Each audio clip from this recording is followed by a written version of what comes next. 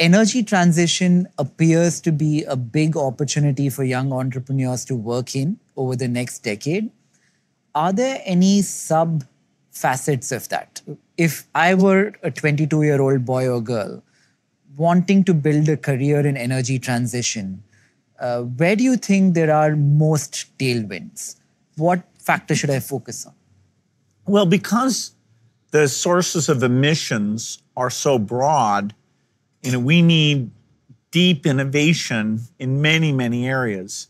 So for electricity generation, you know, we've got to make solar cells better. We have to make off wind cheaper. Um, there's probably something dramatic that can happen in nuclear fission. Uh, hopefully, something dramatic that can happen happen in nuclear fusion. Uh, in the long run, that may be uh, the cheapest source of electricity. Now we have some companies uh, trying to get there.